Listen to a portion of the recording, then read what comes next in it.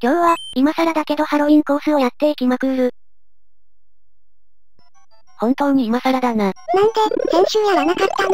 この方のコース、別のコースを送っていただいていたんだけど、どうしてもクリアできなくて、結局別のコースをやることになりました。なるほど、つまりお前のプレイが下手くそなのが悪かったっていうことだな。せっかく送っていただいたのに、申し訳ありませんでした。でもね、送っていただいたコース、本当に難しかったんだよ。言い訳をつ。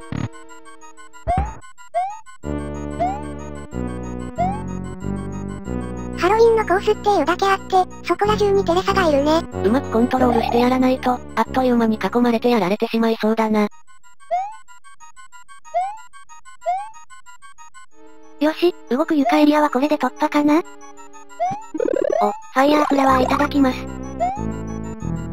あれ、行き止まりになってるぞ。あ、孔明さんか。ルートを間違えてたとかではなくて、助かったね。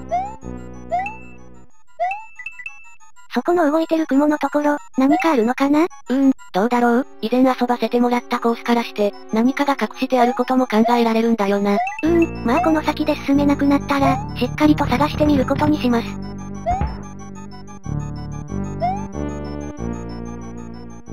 ここは、パウカマンと、コーラとかがないと進めなそうだね。きっとちくわで進んだ先に何かがあるんだろうな。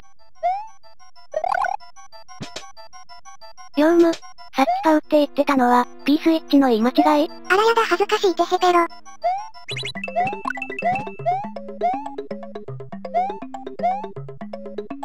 中間ポイント発見。ということは、まだ結構続くのかな？今度はどこかで鍵を見つけてこないといけないみたいだね。右も左もいけるけど、どうしよう？適当に来てみたけど、赤コイン見つけたよ。残り2枚も、近くにあると助かるんだけどな。あったね。あったな。あったかいんだからはい、ごめんなさい。すぐ謝るくらいなら、初めからやめておけよ。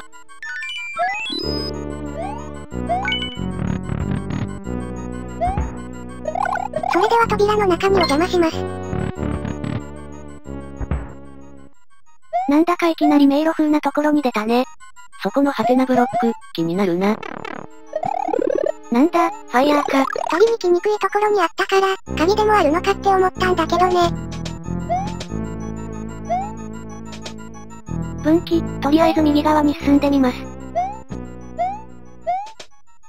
この辺り、もしかしたら何かサムネで書かれているのかもしれないな。興味ある方は、ぜひご自分で確かめてみてくださいね。あ、ゴール発見しました。おい、早くゴールしろ。あいあいさ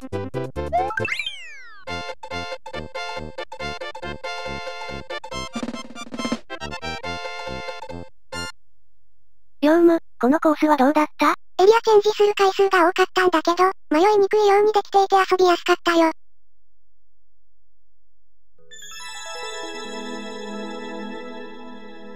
それではいいねして、次のコースを遊んでいくる。せっかくだから、次もハロウィンコースを遊んでいくんだぜ。お、今度は賑やかな感じのお化け屋敷だね。お、トルネットが出てきたね。これを使って、テレサを倒して鍵をゲットすればいいんだな。結構倒しにくいね。一体どいつが鍵を持っているんだ？よし、これで先に進めるね。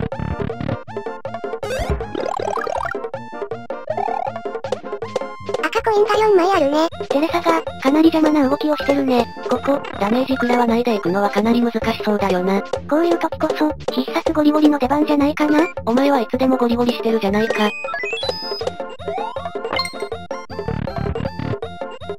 中間取ってどんどん進んでいくよ。あ、これきっと急がないといけないやつだ。そしてここでも安定と信頼のゴリ押し。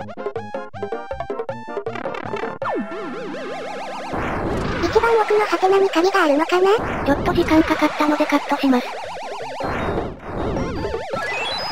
思ったより早かったな。さすが私天才。でも、またカットかって言われちゃうね。あれ？また中間あるんだね。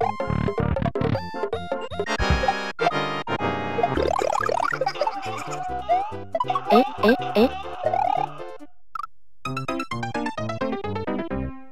すいません、ちょっと頭が回りませんでした。さすが天才レイム。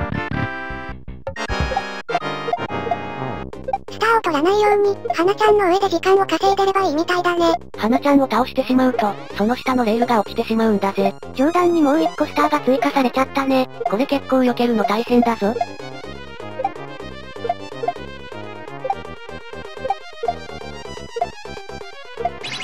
お、どこかで P スイッチをしてくれたみたいだね。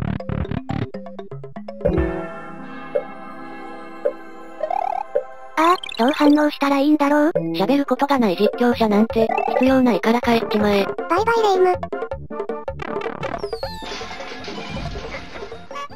これもしかして、猫パンチ連打食らうやつかな？どなたかの動画でそんなの見たことあるな。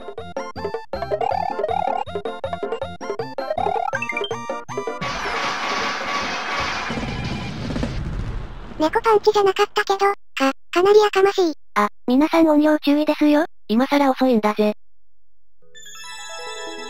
それでは今日はこの辺で終わります。次回は、あなたのコースにくるくるくる。